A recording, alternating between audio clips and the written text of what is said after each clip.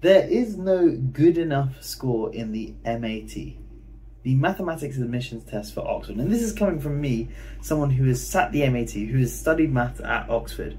There is no MAT score that is going to get you into Oxford.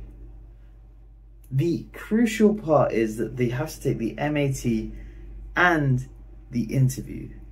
They don't care about your personal statement. I've talked about that before. Oxford and Cambridge, your MAT, or Oxford at least the MAT and the interview, Cambridge the interview and STEP, same idea. You have to do well in both. That basically summarizes this whole video. So if you want to click off, fine. I'm going to go into a bit more depth though. So, in terms of the MAT, what is a good score? A good score is 80 or higher.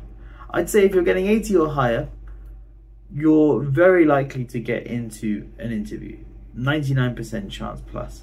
I think the only reason you wouldn't is if you have really rubbish predicted grades or there's something else that I'm missing here.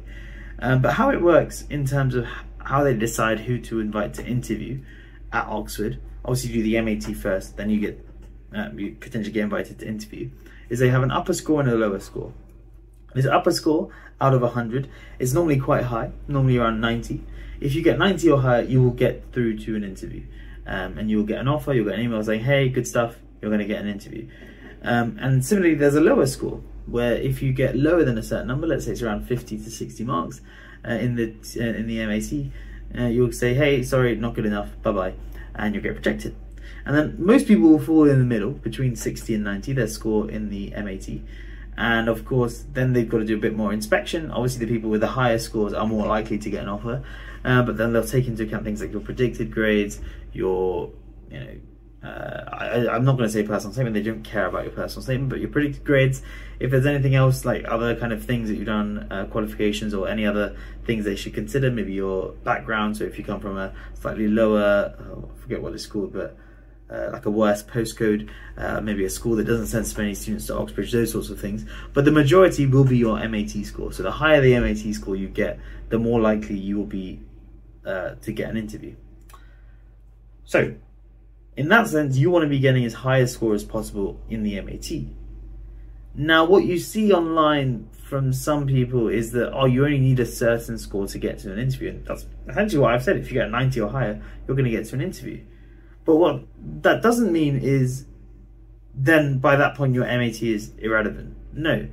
You get to an interview and you do perform in your interview, and then what they do is they look at your interview performance alongside your uh, MAT performance and they take a kind of not average score but they take both those things into consideration when deciding whether to give you an offer or not.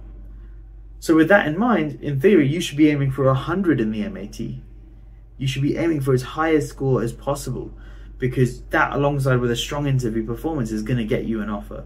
You can't just do well in the MAT and sack off the interview or vice versa. You have to do well in both. So when you're looking to prepare for the MAT, you're going to be doing past papers. The very obvious and natural thing to do is mark yourself and see how well you're doing and try and get as high a score as possible. What you don't want to do is just look at the averages that they have on their website and say, oh, I've got higher than 77.3 marks, which was the average this year, so I'd get an offer. It just means that you would maybe likely get to the interview round, but then uh, obviously there's a correlation between if you do well in the MAT, you're going to do well in the interview on on average. But there's definitely examples of people in the past. I had a student who I helped once with the MAT. He got 96 in the MAT and then got rejected in the interview. 96 in the MAT and got rejected after the interview. His interview wasn't that great. So just to be clear, there's no score, no MAT score can get you into Oxford. You can get 100 and get rejected. So just take bear bear that in mind. It's the interview and the MAT is what gets you the offer. So, that being said, there is no good enough MAT score. The higher the better, aim for 100. If you're not getting 100, that means you made a mistake somewhere. Where is that mistake? Look at that mistake, analyze that mistake. Why did you make that mistake? Was it a lack of time? Was it you didn't know how to approach the problem? Was it you just made a silly mathematical error? One of those three things, or maybe something else, is causing you to lose marks. Address that issue. Don't make that mistake next time. Anyway, I'll leave a, a, a, video on screen of what you should do over the summer holidays to best prepare yourself for the admission cycle.